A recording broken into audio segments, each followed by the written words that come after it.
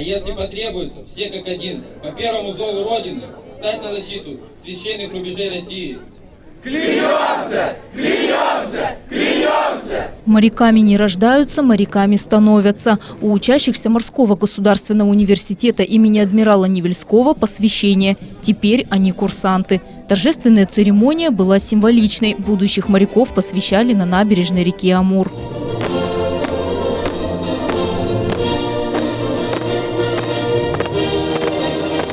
Будущим покорителям морей вручили курсантские билеты. На посвящении они впервые надели один из главных атрибутов моряков – гюйс. Форменный воротник, славу российского флота одеть!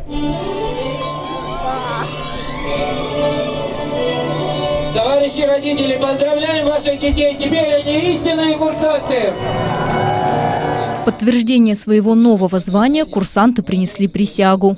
Курсантов Амурского филиала Морского государственного университета, присягая отчизне, торжественно обещаем приложить все усилия и умения стать специалистами морского и речного флота России.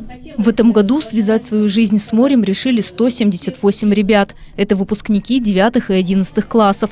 Конкурс в морском университете был немалый – три человека на место. Наверное, та форма обучения, э, те подходы к образованию, которые сейчас сформулированы в Амурском филиале, это все-таки дисциплина прежде всего, э, спортивная подготовка, очень э, плотное знание английского языка и, конечно же, подготовка по техническим специальностям. И практикоориентированное образование сейчас является наиболее востребованным. Это видно по сегодняшнему набору. В морской университет поступают не только юноши, но и девушки. Покорять водные просторы они, скорее всего, не будут, а вот диспетчерами станут точно. Ну, потому что мне нравится морское дело. Я хотела бы связать свою будущую жизнь с морским флотом. Ну, на любой морской профессии должны же тоже девушки преобла... ну, быть. Ну, сама она так захотела нас по ее желанию, по собственному. Мы, в общем-то, сами были в неожиданности не ожидали даже. Ну, в общем-то, у меня был даже прадедушка моряк.